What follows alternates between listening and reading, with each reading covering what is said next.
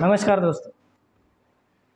आज के वीडियो में आज के वीडियो में हम देखने वाले हैं सीएनसी वायर कट मशीन का मल्टीपास प्रोग्राम कैसे बनाते हैं। देखिए। सीएनसी वायर कट मशीन का मल्टीपास प्रोग्राम कैसे बनाते हैं। मल्टीपास बोले तो एक चीज़ आपको डबल कट या टेबल कट तो बनाते कैसे? आज के वीडियो में हम देखने वाले मल्टीपास प्रोग्राम बनाने का पर्पज़ ये होता है कि अपना जॉब जो साइज़ में है, उसमें दस माइक्रोन के बीच में या ज़ीरो ज़ीरो कैसे लेके आए? इसीलिए मल्टीपास करते हैं। और मल्टीपास जो वायर मार्क आता है, उसे निकालने के लिए भी यूज़ करते हैं।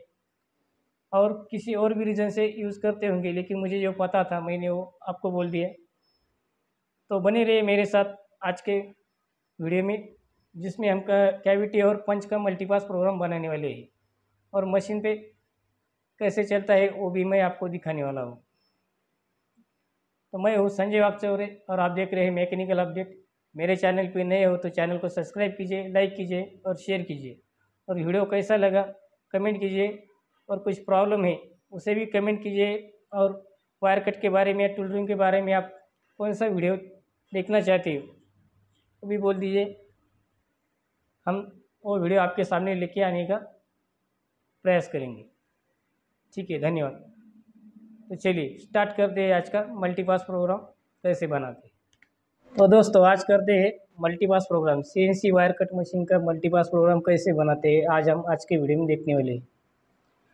तो हम पहले ऑटो कार्ड में ड्राइंग बनाएँगे, बाद में एलकेम सॉफ्टवेयर में प्रोग्राम रेडी करेंगे। तो पहले हम करते हैं ऑटो कार्ड शुरू। तो ये हो गया अपना कार्ड तो कार्ड के बारे में आपको बोलने की ज़रूरत नहीं ऑटो कार्ड आपको तो आता ही है। तो हम पहले एक सर्कल लेंगे कैविटी का मल्टीपास करके देखेंगे, बाद में हम पंच का मल्टीपास करेंगे। तो ये टूल के बारे में आपको बोलने की ज़रूरत नहीं ऑटो कार्ड में आप भी ड्राइंग बनाते हैं, इसीलिए इसकी ज़्यादा जानकारी देने की ज़रूरत नहीं। है तो मैं लेता हूँ सर्कल और हम एग्ज़ाम्पल के लिए एक डायमीटर बनाएँगे चालीस का। आ गए। चेक कर लीजिए। ये चल, ये आ गए। ये डायमेंशन स्टाइल बहुत कम है, इसीलिए डायमेंशन स्टाइल बढ़ाने के लिए डी एंटर शॉर्टकट में कीबोर्ड से कर सकते हैं। उसमें है मॉडिफाई तीन नंबर पे मॉडिफाई में टेक्स्ट है टेक्स्ट को हम बढ़ाएँगे पाँच एम एम टेक्स्ट टाइट करेंगे पाँच। और प्राइमरी यूनिट करेंगे हम तीन। पॉइंट के बाद तीन। ओके ये आ गया चालीस diameter C wire cut machine का प्रोग्राम बनाने से पहले ड्राइंग हमें पीड़ित करनी पड़ती। है तो पीड़ित करने के लिए पहले हम इसे ट्रिम करके ज्वाइन करेंगे। तो ये हमने लाइन लिया। अब हम इसे करेंगे ट्रिम ट्रिम आप यहाँ से भी कर सकते हो। या फिर कीबोर्ड से T R double enter select हो गया ट्रिम बाद में हम मिरर करेंगे। यहाँ पे मिरर है ऊपर। देखिए मिरर नहीं तो कीबोर्ड पे शॉर्टकट है एम आई मिरर जिसको मिरर करना है उसे सेलेक्ट कर लेंगे। और एंड पॉइंट पकड़ के ऐसे होता है, इसे ये पेट करने का। स्ट्रेट होता है फिर। हो गया पूरा मिरर कर लेंगे। हो गया अपना ड्राइंग कंप्लीट तो इसे बाद में हम पीडिट करेंगे। पीड़ित करने के लिए P E enter select start point Y enter J enter फिर से स्टार्ट पॉइंट और राइट साइड से। मैं तो ड्राइंग प्रोग्राम बनाने की मैं तो राइट साइड से ही प्रोग्राम बनाता हूँ। आपके हिसाब से आप बनाइए। क्लॉक वाइज या anti clock wise right left ऐसा रहता है। तो मैं राइट साइड से ही बनाता हूँ। हो गया अपना ये पूरा ड्राइंग सेलेक्ट और ये एडिट और टेक्स्ट लास्ट में। और अंदर आने के लिए आई इंसर्ट तो ये हो गया अपना ड्राइंग कंप्लीट कभी भी ड्राइंग बनाने बनाने के बाद उससे ओरिजिन या यू सी एस ज़ीरो पे लेके आने का, क्योंकि यहाँ पे हम इसे ज़ीरो पे नहीं लेके आएँगे। तो क्या होता है एलकेम सॉफ्टवेयर में जैसे भी हम डी करते हैं तो हमारे सामने ड्राइंग आती नहीं है। मुझे कमेंट आया था कि, सर, ये डी एक्सेप डी इन करने के बाद ड्राइंग सामने आती नहीं। इसीलिए इसको क्या करने का मूव कमांड लेने की। मूव कमांड सेलेक्ट ऑल और अपना स्टार्ट पॉइंट है, उसे क्लिक करके ज़ीरो कामा ज़ीरो तो किसी किसी कैटेगरी में ऐसा आता नहीं है, क्यों नहीं आता है? तो मैं फिर से करके दिखाता हूँ आपको।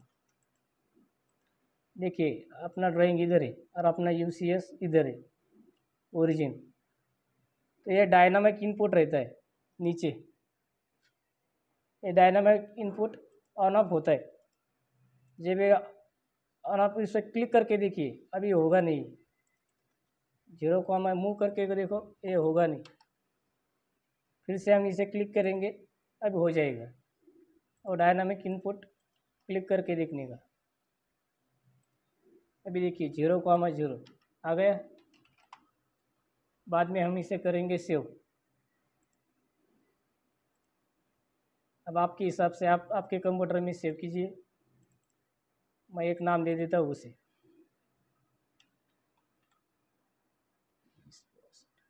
और हम इसे करेंगे डी एक्सेप आउट अभी डी एक्सेप आउट करने के भी दो तरीके होते हैं। कोई डायरेक्ट भी सेव कर सकते हैं, या फिर डी एक्सेप या फिर टूल में। देखिए राइट साइड में टूल में ऑप्शन है। इसमें सेकंड डी एक्सेप ऑप्शन सेलेक्ट ऑब्जेक्ट और इसे हम ओके करेंगे, इधर सेव करेंगे और जो डी एक्सेप आउट करना है, उसे ये हो गया अपनी ड्राइंग कंप्लीट ड्राइंग सेव हो गई, अभी ऑटो कैड का काम ख़त्म हो गया। तो अभी हम कर रहे हैं कैविटी मल्टीपास बाद में हम करेंगे पंच मल्टीपास कैसे करते हैं? तो अभी एम सॉफ्टवेयर में जाएँगे। इलकेम सॉफ्टवेयर में यूटिलिटीज़, पहला है डी पिन। और इसमें अपना प्रोग्राम कहाँ पे से वो प्रोग्राम निकालिए।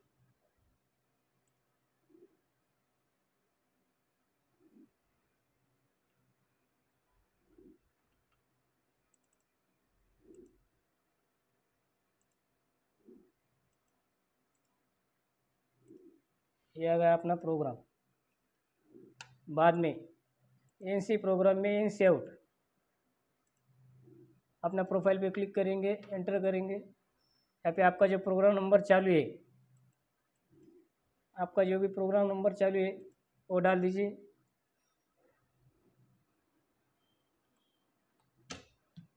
दूसरा है प्रोग्राम टाइटल आप चाहे तो दे सकते हैं, नहीं दिया तो कोई प्रॉब्लम नहीं। तीसरा है machine of type of machine तो ये स्प्रिंग कट का प्रोग्राम है और ये अपना आज मल्टी पास तो उसे नंबर ऑफ़ ट्रिम कितने कट में आप कट करने वाले हैं। तो डायरेक्टली यहाँ पे नंबर ऑफ़ ट्रिम ज़ीरो है। ऐसे हमने कर दिया ओके तो सिर्फ़ एक ही पास चलेगा।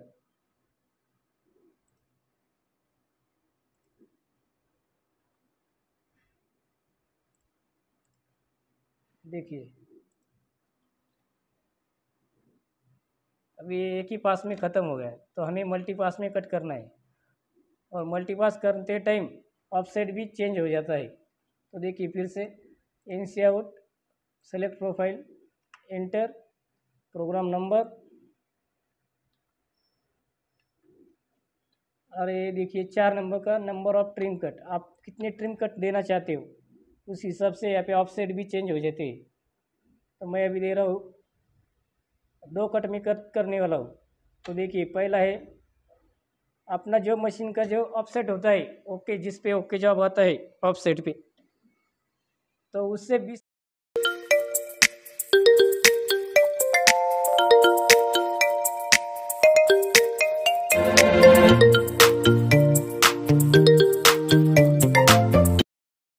बीस माइक्रोन प्लस रखना पड़ता है पहला ऑफसेट तो मेरी मशीन 150 पे ओके आई थी तो मैं पहला ऑफसेट रखूँगा 170 पॉइंट एक सौ सत्तर और दूसरा रखूँगा 150 या एक सौ बावन। तो मैं भी, मैंने यहाँ पे रख दिया 150 पहला देखिए, बीस माइक्रोन से प्लस रखना पड़ता है। पहला एक सौ सत्तर, दूसरा एक सौ पचास। ओके वायर कंपोजिशन राइट और ओवरलैप भी दे सकते हैं। ओवरलैप एक एम इसे करेंगे हम ओके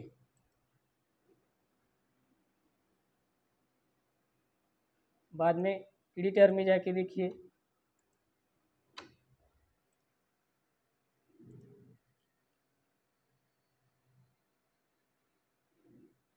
आपका प्रोग्राम नंबर क्या है, उसे ओपन कीजिए। और चला कर देखिए। ये पहला कट और ये दूसरा कट ये है दो कट में। अपना मल्टीपास कैविटी मल्टीपास लेकिन ध्यान रखिए, जब आप मल्टीपास का प्रोग्राम मशीन पे लगाएँगे तो पहले कट के लिए ये कोड अलग होंगे और दूसरे के लिए अलग। क्योंकि मल्टीपास में जो पहला कट आता है, उसमें करंट फुल रहता है और दूसरे कट में करंट कम करना पड़ता है। तो ये हो गया कैविटी मल्टीपास अब हम देखेंगे पंच मल्टीपास कैसे करते हैं। इससे बहुत अलग होता है पंच। अभी ऑटो कार्ड में हम ड्राइंग बना लेंगे। स्क्वेयर करेंगे हम। एक सैंपल के लिए स्क्वेयर बना लेता हूँ मैं। पचास बाय पचास का। आप भी बना लीजिए।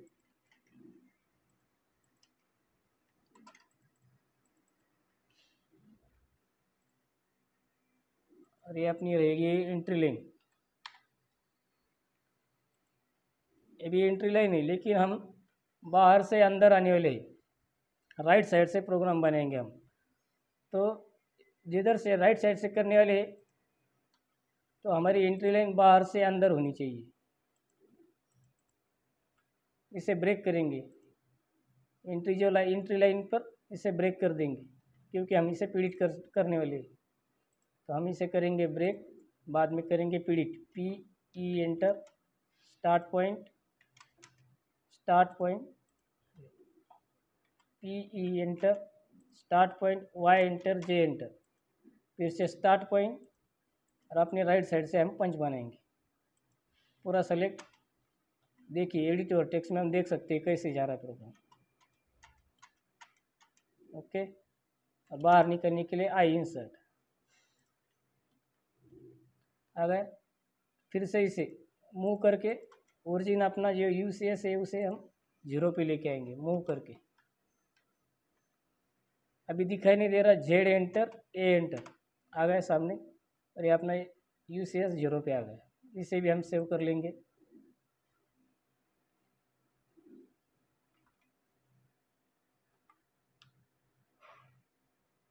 डी इसे हम डायरेक्ट भी सेव कर सकते हैं, या फिर इधर टूल्स में ऑप्शन है। जितना पोर्शन हम वायर कट करने वाले उसे D select object, okay, save, और जो प्रोफ़ाइल हमें आउट करना है, उसे क्लिक करके एंटर। हो गया इसका आटो गार्ड का काम। ओके?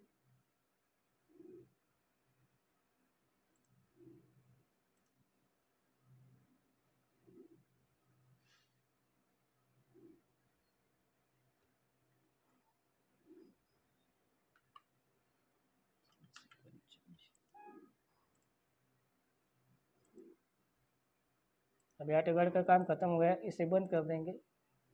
और एलकेम सॉफ्टवेयर हम C C wire cut machine का सॉफ्टवेयर ओपन करेंगे प्रोग्राम बनाने का। इसमें डी एक्स ए पिन अपना प्रोग्राम नंबर क्या है? उसे ओपन करेंगे। पहला अपेन टू न्यू इसे नो करेंगे। दूसरा क्लोज ऑटोमेटिकली नो अपना पंच है। अभी पंच को मल्टीपास कैसे करते हैं? N C out select profile enter यहाँ पे हम प्रोग्राम नंबर देंगे, अपना जो भी प्रोग्राम नंबर चालू है। दूसरा है program title machine of type ये तो आपको पहले बता दिया मैंने। अभी इसमें हम क्या करेंगे?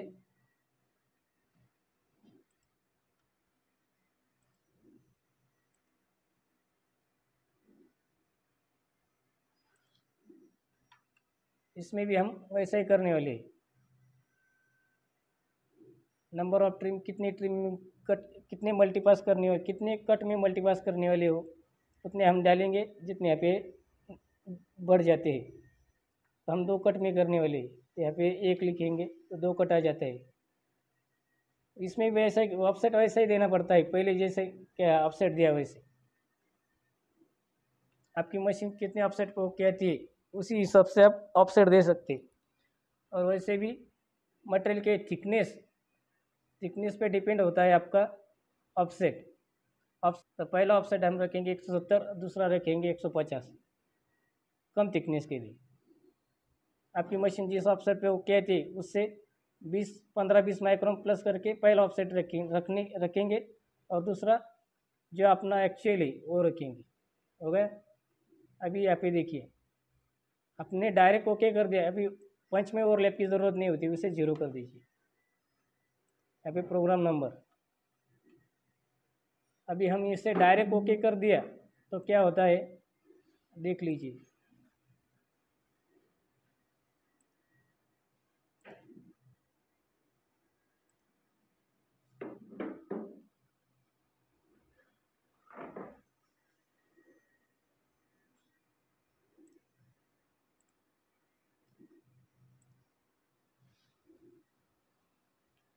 ये डायरेक्ट करने का डायरेक्ट करने से ऐसा प्रॉब्लम हो जाता है।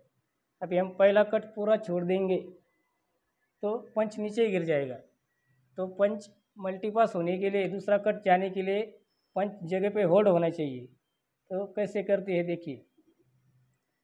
इन सी आउट सेलेक्ट अभी अपना ऑफ़ साइड वेबसाइट तो हो गया। ओके तो यहाँ पे क्या करना पड़ता है? फॉरवर्ड रिवर्स फॉरवर्ड रिवर्स अपना वायर कंपोजिशन क्या है? किस साइड से आप प्रोग्राम बना रहे हैं, उसी हिसाब से आप कंपोजिशन रखेंगे वायर कंपोजिशन पंच के लिए ओवरलैप की ज़रूरत नहीं होती है। लेकिन यहाँ पे देना पड़ता है पार्टिंग डाटा पंच के लिए। कैविटी के लिए कुछ नहीं करना पड़ता, लेकिन पंच के लिए पार्टिंग डाटा डालना पड़ता है। तो पहला क्या होता है? लेंथ जो होल्ड करने वाला पंच को नीचे नहीं गिरने देता। यहाँ पे कुछ दो तीन एम एम का हम रखेंगे, पंच के वज़न के हिसाब से, और ये एग्जिट पॉइंट है, इसे हम एक एम एम रखेंगे। आ गए पार्टिंग डाटा पंच को होल्ड करने के लिए, पकड़ के रखने के लिए, और एग्जिट एक एम और देखिए, यहाँ पे ज़ीरो आप ज़ीरो किया तो क्या होता है? तीसरा कट भी देना पड़ता है। ओके तो तीसरा कट ज़ीरो है। तो क्या होता है? और ऑफसेट देने पर क्या होता है? अब देख लीजिए। अभी हम यहाँ पे पाथ कट है ज़ीरो पार्टिंग डाटा के लिए। तो देखिए क्या होता है।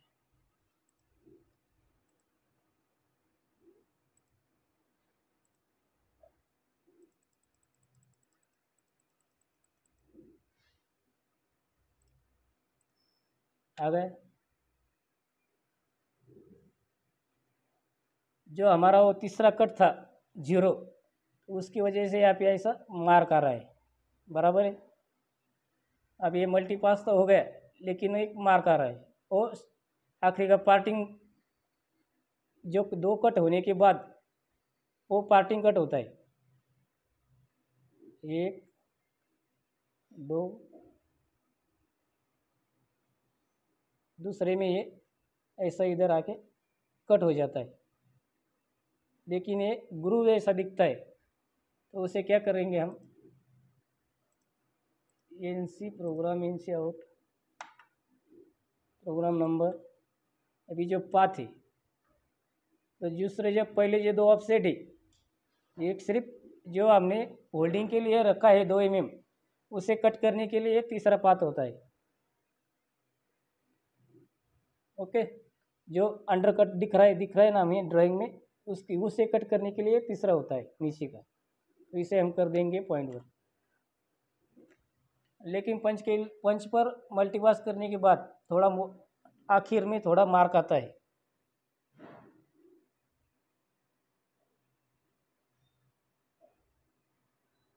ओके और राइट एडिटर देखिए।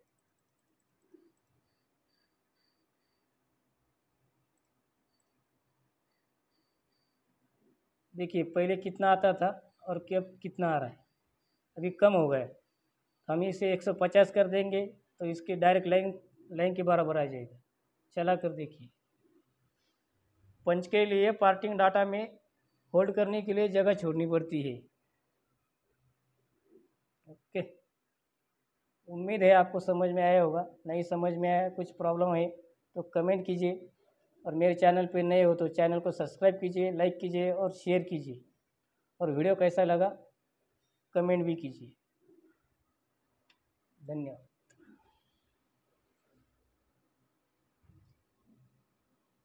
और मुझे कमेंट भी कीजिए, आपको और कौन सा वीडियो देखना है वायर कट के बारे में। तो हम, वैसे तो वायर कट के अलग अलग वीडियो आने वाले हैं।